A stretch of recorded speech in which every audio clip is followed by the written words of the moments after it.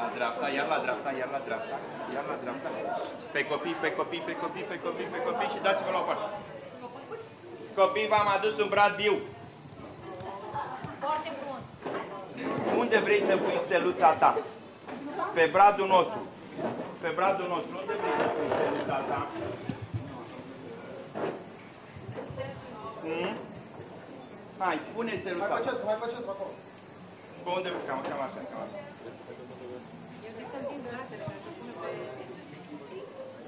Da, e ok, e ok, e foarte bine. Ia Hai, Elena. Haide, Elena. Elena?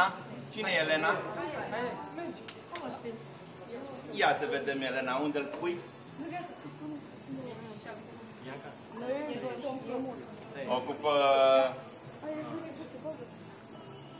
Hai, Andreea. pune, unde punem? Pentru că avem și noi o mitologie română. Și în mitologia română, bradul este prezentat în trei ipostaze. Bradul ca pom al cosmosului, al uh, bradul ceresc și bradul viu. Și plecând de la o mică surpriză pe care am vrut să o facem copiilor și dumneavoastră, am încercat să pregătim un brad viu. Acum, uh, cât de mult ne-a reușit, uh, rămâne să aprecieze uh, telespectatorii și cei care într-adevăr apreciază acest uh, fel de artă și de a, acest fel de a prezenta ciocolata și zahărul. Uh, copiii au fost surprinși, mai ales că ei știau că există aceste trei categorii uh, de brad, bradul viu, bradul uh, mort, bravo, și bradul și bradul artificial.